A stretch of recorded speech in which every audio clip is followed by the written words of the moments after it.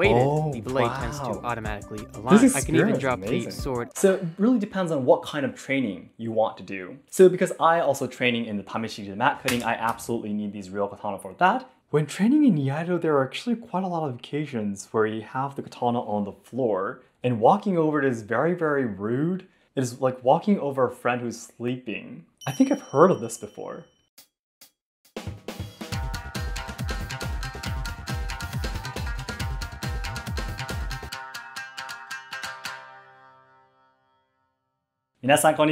And welcome to Let's Ask Shogo. So recently there seems to be more and more channels, YouTube channels talking about katana. As a Iaido trainee who has been training the katana for about seven years, I have also been making a lot of videos related to katana and a lot of people have been giving me DMs through Instagram and also comments for my opinions on the other channels that talk about katana. And among all of the wonderful channels that also talk about katana, a lot of people especially have been giving me a lot of request to react to the mini katana channels on YouTube Shorts. So today that is what I'm going to be doing today. But as I always say in all of my katana videos, everyone, though, please keep in mind that I've only been training the katana for about seven, eight years myself, and I do a lot of studying about katana. I try my best, of course, but still at the same time, every single thing that I talk about has different theories and different ideas. So what I talk about in my videos and in this video too, please just understand that this is just one theory, this one idea from this one person, one Japanese man. So please don't think that what I talk about is, is the absolute answer to anything. In this channel, you can take a closer look at Japanese social culture, tips on traveling Kyoto, and social problems in Japan. So learners and lovers of Japanese language and culture, be sure to subscribe to enjoy more content. それでは動画を見てまいりましょう。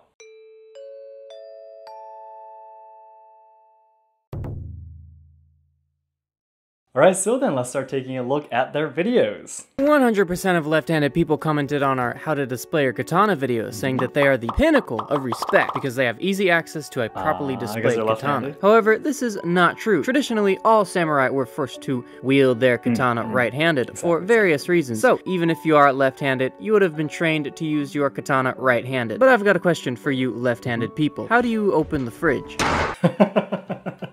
he paused that so strongly. You know, I actually made a video talking about how to display your katana too. It was a YouTube shorts that I made, and I got the same comments too. That they have an advantage because they're able to draw the katana with their left hand, even if the katana has the handle onto the left side. But as they were explaining, yes, during the uh, samurai era, the samurai period, yes, the samurai were all forced to do everything with their right hand. But that's not just the katana actually, though. It could be the tea ceremony, it could be calligraphy, it could be the Japanese bow. Everything need to be done right-handed. And he explained that there's a lot of reasons for it, but one of the major reasons, especially during the Edo period, when the population was really big due to the long period of peace, because the samurai always had to have two katana with them. When they walked past each other, they never want to bump their scabbards against each other when they walk past each other. So they made a rule to always walk on the left side and keep their katana on their left waist so they would never bump into each other. And if you have your katana on your left waist, evidently you have to use your right hand to draw the katana out, so everyone had the right hand on top. So basically the reason why you had to use your right hand for everything was to maintain order during the Edo period. And the custom has been carried on even today. So I personally have never heard of any dojos or ryuha styles that teaches how to draw the katana on your right waist.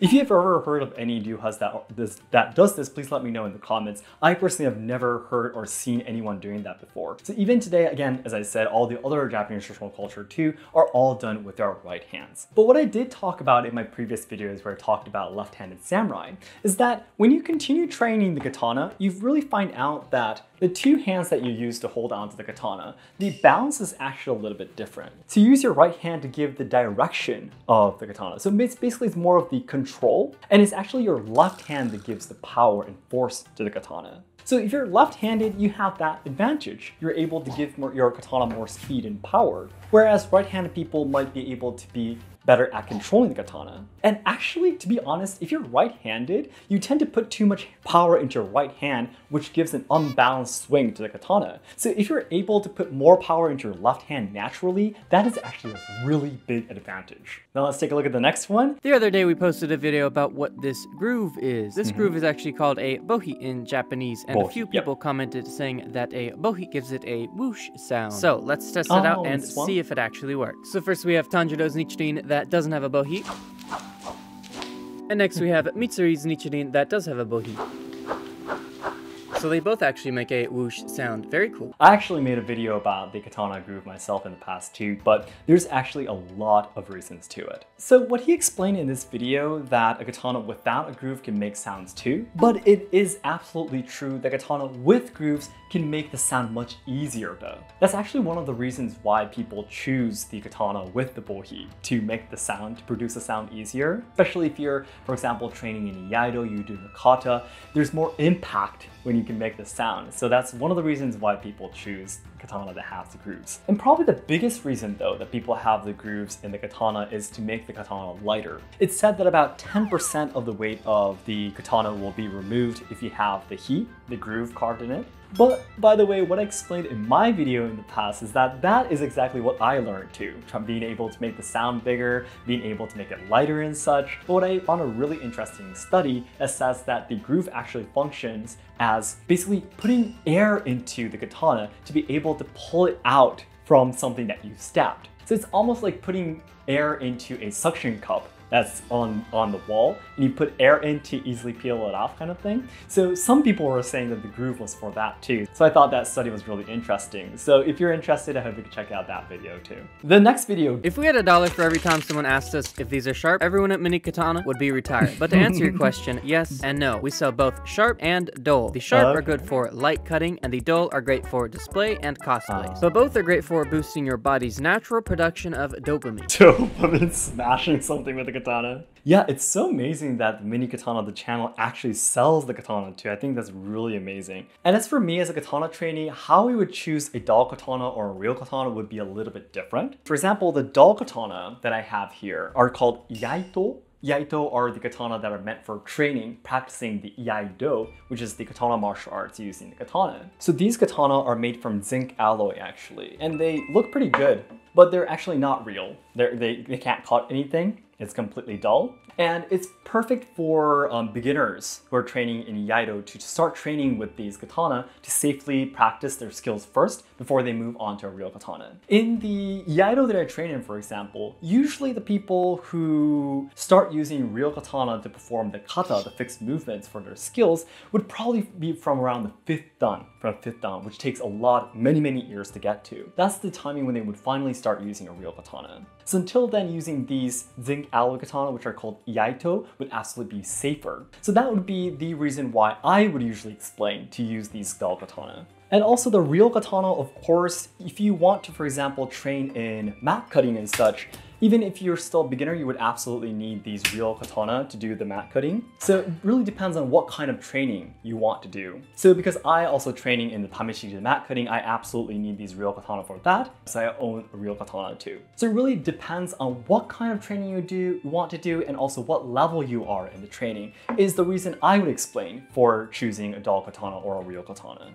All right, let's keep going. Did you know that these two dinky bamboo pieces are the only thing that keeps your katana pieces. from falling apart? That's right, these Uh-huh. are known as mekugi, and they are used in all katanas. The way it Yep, works is that the blade actually runs all the way through the handle. Then these pegs are wedged through the handle and the blade. Now, if you want to be a mekugi-less master, I'd check out one of our Attack on Titan swords. Oh, wow. They actually have the Attack on Titan swords too? That's really, really cool. Wow. Yeah, I actually made a YouTube shorts about this too. There's only one bamboo pin that connects the the handle and also the blade together. And a lot of people told me, why wouldn't you use the metal ones to hold, the, uh, the handle and blade together? I mean, bamboo seems really weak. But actually, back in the time, in ancient times in Japan, there was a period where they used metal pins instead. But actually, metal pins are a little bit too strong that when the katana strikes something, all of the power goes into the handle and it starts to damage the handle actually. So the bamboo that is flexible and soft actually absorbs that impact that comes from the strike. A lot of people told me like, why would you use a bamboo? That's so, you know, almost stupid to do that. But of course, the Japanese people have spent hundreds and hundreds of years on the katana, how to make them sharper, how to make them more effective and such. And of course, they must have tried everything. So in the end, this was the most efficient way to do it, putting one or two pins in it. And it really does depend on the katana. There, there are some katana that only has one mekugi pin, but there are some katana that has two. And when you buy a katana for the Tameshigiri mat cutting, it is usually recommended to, to choose a katana with two mekugi pins for safety. Because of course the bamboo pins, once in a while you do have to change them. You do need to buy a new mekugi pin or make a new mekugi pin for safety. But for example, the real katana that I have only have one, and I personally feel that having only one mekugi pin would probably be the majority of the katana. I feel that about 70% of the katana, real katana, only have one mekugi hole, but the um, masterclass people in the Tameshigiri training, cutting training, would usually recommend a two mekugi katana for the Tameshigiri cutting. Then let's take a look at the next one. Do you know how to properly break the seal on your katana? Some katanas hmm. can have quite a tight seal when sheathed, and it can yep. sometimes be difficult to break that seal. Knowing how to properly break the seal will give you more control over your katana, and it also just looks better. First, instead of just pulling your sheath and katana apart, move your mm-hmm. left hand towards the Tsuba, then use your thumb to smoothly break the seal. Now, if you want yep, to be exactly. a tsubaless savage, I'd suggest getting one of these. no skin. they make literally everything. That's so amazing. And yes, that's right, breaking the seal of the katana with your thumb. This movement is called koikuchi o kiru in Japanese. Now the koikuchi is this, the entrance of the scabbard, and it means to cut this koikuchi to pull the katana out. So this is absolutely something that you are taught in Iaido too. When you do any kind of kata, any kind of move, you are taught that you must use your thumb to cut the koikuchi, basically, koikuchi o kiru. But I did recently explain in one of my YouTube shorts that this way of pulling the katana out is actually not so practical. It was a instructor of kobudo or kobujutsu, which is the ancient Japanese martial arts instructor that told taught me this. But basically, if you do this, to draw your katana. It takes a lot more time. You need to you have to put your thumb on the tsuba, you need to pull it out. If you're, for example, suddenly attacked in a real battle, you, you panic, right? You would uh, rush to pull your katana out. If you have your thumb here, you might accidentally cut your thumb with the blade and such. So in order to avoid these risks, in a real fight, you could do this instead. Get it? So you don't put your thumb on the tsuba, which you know, evidently tells your opponent that you're going to be drawing the katana out, right? And then the person will prepare to fight back as well. So by breaking the seal, just by gripping this in, you can still pull out the katana too. This basically removes all of the disadvantages of using your thumb to pull the katana out, and it doesn't tell your opponent when you're going to be drawing katana out, so you'll have a higher chance of winning. However, the reason why that in martial arts like Iaido that I train in teaches to do this properly is because even back in the samurai time, it was definitely not fair to draw the katana out like this because you never are telling the opponent when you're going to be drawing the katana out. So it's really interesting how the Japanese word to betray is called uragiru, uragiru, which means to cut from the other side. This is it because you're cutting the seal of the katana from the other side of the tsuba, you're betraying your opponent or the other person. So that's the reason why you could use this technique, but as a samurai who wants to fight fair, it's not a good thing to do. But back in a time when you're actually risking your life, which is more important, right? Fighting fair or saving your own life. So that's the reason why the Kobudo, especially the ancient martial instructor, taught me this way of drawing a katana too. But actually in Iaido training, I would do this as well, Koikuchi Okiru. Okay, so the next one. Did you know you need to clean your katana regularly? Not regularly cleaning your katana can lead to damage and mm. rust, but you don't want to just use any old rust. cleaner like bleach, or else bad things will happen. Instead, use a katana cleaning kit like the one found on our website. Look at all these goodies it comes with. This thing mm. is called mm. an Uchiko ball. For a full in-depth how-to as well as how often video, check out our YouTube channel at Mini Katana. And if you don't feel like doing any cleaning, I oh. check out one of these. Oh, they have the really small ones too? That's so cool. Yes, that's right. The katana maintenance, the cleaning is really, really important. Usually, if you have a real katana, you would usually do the maintenance every three to four months if you don't use it for the mat cutting training. If you do it for the mat cutting training, you need to absolutely wipe it and clean it every time you use it. However, this actually has a lot of opinion. The Uchiko, he explained, to do the maintenance. Basically, the powder actually has whetstone powder in it and it's meant to remove the old oil that you applied last time you did the maintenance. So basically the maintenance is wiping the katana, applying the Uchiko powder to remove the old oil, you wipe away the Uchiko powder, and then you apply the new oil over it to prevent it from rusting. However, many people say that this whetstone powder maintenance style actually was developed after the Meiji period when samurai were gone. So many people say that using too much of the Uchiko powder too often will actually damage the katana. And there are a lot of katana collectors, katana lovers eh, that I have as friends telling me that I usually never actually use the Uchiko. And as you were seeing in this video, Mini Katana was applying quite a lot of Uchiko on the sword. I think the amount of Uchiko he was putting on the katana would be a little bit too much. If you're going to be applying the oil, you do need to use the Uchiko, but Applying it too much would probably rather damage the katana, so you do need to be careful about how much you use. And if you want to know how much then you need to apply the Uchiko every time you do the maintenance, I have a video of the katana maintenance done by a Japanese swordsmith, so I hope you can check his video out for me. I personally have the experience of training under a Tameshigiri mat cutting instructor, and some of the instructors that I know of never ever use the Uchiko nor the oil too, because they use the katana to do mat cutting so often that they wipe it every day. And back in the samurai time again, when they didn't have the uchiko and the oil and everything, the clove oil we usually use today, they always had it on their waist every single day. So they would just simply wipe it every day and then there will be no rust, regardless of not having the oil or not and such. And that's the reason why the clove oil and also the uchiko was rather produced recently, invented recently to suit the modern day where we don't usually use our katana every day. So you really need to maintain a good balance for the maintenance though.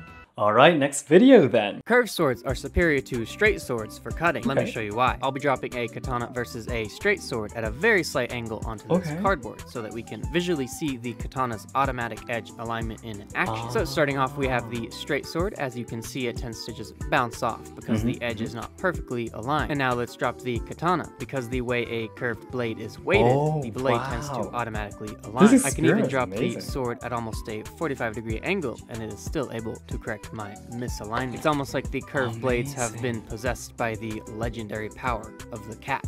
of the cat. Oh, I think this experiment is amazing. You know, I've explained in my past videos many times that the curve of the blade is for a stronger cut, also moving the center of the blade more convenient to the user and such, but I've actually never seen such an experiment before. Well, this is amazing. Wow. It is something that we all say in the world of Tameshigiri mat cutting, that we should always let the katana do the cutting for us. The people who fail to do the mat cutting properly are the people who try to put their own power, their own intentions into the katana and try to use the katana like a bat. What you really need to focus on is to become a very convenient tool for the katana. That's the kind, that's the kind of idea that you need to have. So you try to move your body so that the katana can do its work. It's not you trying to force the katana to do something. You're trying to adapt to the katana that you're using. This is a really important humble mindset that you need to learn through Tameshigiri training, and I think it's the biggest message that it teaches you. Then next. Here are five things you should not do with a katana. Number one, do not display blade down, as this can dull the blade. Number two, mm. do not display with the handle facing to the right. Doing this means you are actively at warp because it is in a more easy to get to position. Number three, do not touch the blade with your hands, as Ugh, this can rust it. Number four, do not use any harsh chemicals no, to no, clean no, the blade. Always use a proper katana cleaning kit. Number five, katanas get lonely, so make sure you buy as many as possible. They're trying to sell their katana. Yeah, the five things they explained is completely true, absolutely true. As I explained all the time, you can see my katana are all have the handles to the left side and all the sharp sides are upwards. A lot of people who haven't trained um, katana before tend to have the sharp side downwards when they put it on their waist and such, but that's not correct. Even when you put the katana on your waist, you would always have the sharp side upwards as well. And also he was saying that you should never use any harsh chemicals on the katana and such. Yes, that is true as well. The oil that you apply on the katana is usually clove oil. And I have been receiving a few questions about if we can use some other type of oil for maintenance. Um, I actually have found some articles saying that you could use this oil as a substitute and such, but I, as a katana trainee, personally would not recommend it because I can't guarantee you the results of what would happen to your katana. It's probably best you find a katana shop that uh, ships their goods overseas and to get the proper katana uh, maintenance set. It's not that expensive, and once you get that, you're 100% sure that you won't be damaging your katana. So I would personally say that's a better option. And also the last thing he said, katana will get lonely if you only have one katana. Uh, I guess I must say that I agree with that. you can see all my katana here. There's one, two, three, four, five, six, including my two wakizashi. And I actually have about three or four more in a different room actually as well. And I am not going to be stopping here either. So yeah, it's best that you have a very nice katana family inside your room, I think.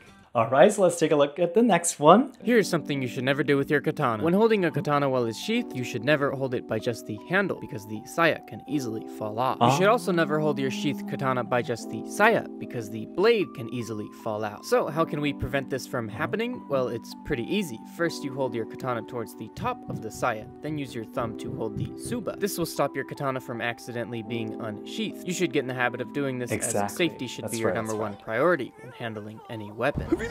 Yup, this is super, super important that you do, especially if you're training in a katana martial art. A lot of people ask me that if there's any injuries when you train with katana because these these swords are absolutely really, really sharp, right? And many people imagine that when you get injuries from these katana, it would be when you're, for example, you're going to be pulling out the katana or when you're swinging around would be when you get injuries, right? But no, the biggest risk you might hurt yourself is when you accidentally drop the sword up out of your scabbard. Now what happens, this is what beginners tend to do. They walk around without holding, putting their thumb on the tsuba, they walk around and they need to pick something up from the floor, the blade falls out, right? The blade falls out and they think, oh no, my blade is gonna be hitting the floor and they reach out for it. That's when they cut their hand. And when it happens, immediately, you can't judge that it might be dangerous or not, and you accidentally pull it, put your hand out, and that is when most people get injured with a katana. So as he explained, you must always keep your thumb on the tsuba.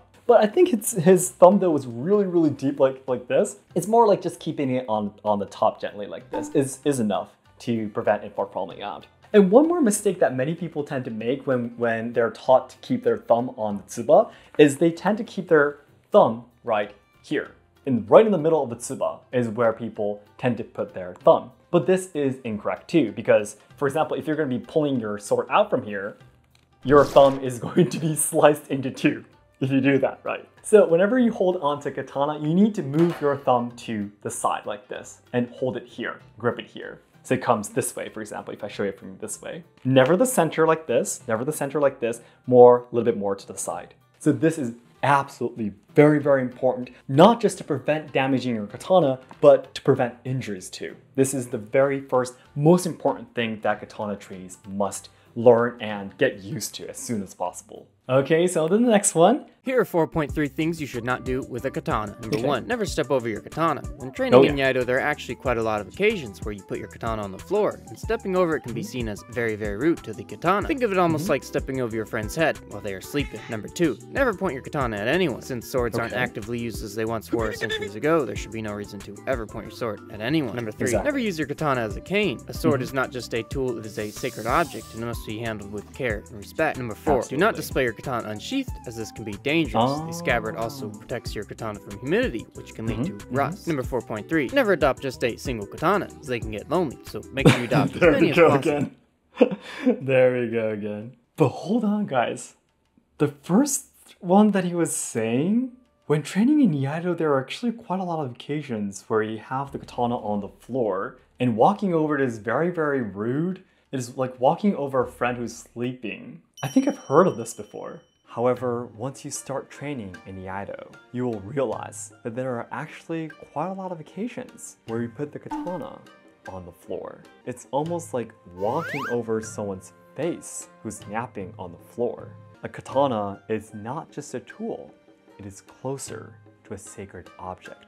But anyways, I have actually made a video talking about the five katana taboos.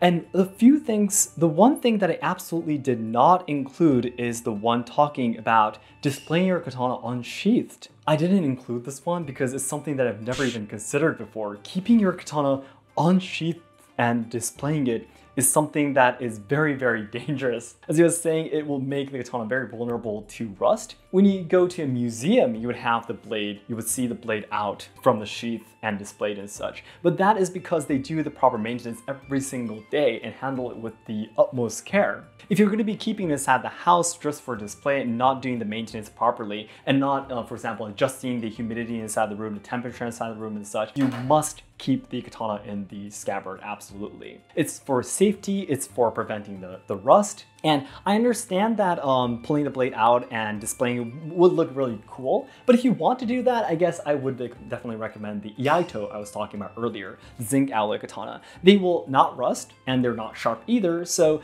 I think if you want to display the katana with the blade out, that would be my recommendation. With a real katana, you should absolutely not do that. That's way too dangerous. And also the fifth taboo that I introduced in my previous video is talking about how to hand a katana to someone. For example, if you have a friend over coming to your house and they say, oh, can I see your katana? Yeah, you shouldn't just randomly hand the katana to them. It's really dangerous. So I explained that in order to safely hand a katana to someone, it's best that you hold the bottom like this and support it from the bottom here and keep this space opened of the tsuka handle so the other person can take the katana here and take a look at it. And again, as you can see, the sharp side should be facing towards you. If you hold the katana like this, it's impossible for the blade to come any closer to you like this. But if you hold the blade like this, you can fall out of your hands much easier because on this side you have your thumb, so it's much more difficult for the blade to tilt this way, so this is the safest way to do it. This is really important, for example, when you go to a katana shop too, and the katana owner, for example, lets you see a katana and you hold it into your hands,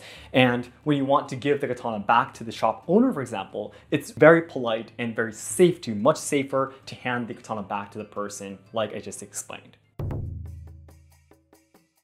So that's it for today. Thank you very much for watching. I really enjoyed taking a look at Mini Katana's shirts. I think the best part about it is they actually provide a lot of interesting content and information, but also they actually sell the katana too. So if you got interested in their products while watching their videos, you can actually get their katana. So I think that's really interesting. And also the fact they have some comedy in it too. I really, really enjoyed it. I think in my videos, I hardly put any, what should I say, funny parts, any bump parts to it, just the information. So I really thought I should uh, learn a lot from Mini Katana. I really enjoyed um, their content. And by the way, a lot of people always ask me, where do I recommend to buy katana? And I really apologize to Mini Katana, but as a Iaido trainee, I always highly recommend Tozando. They are absolutely the best Japanese Budo martial art goods shop. They manufacture the best products. So if you're interested in buying katana where I got all my katana, you can check out Tozando's website, which is inside the description box.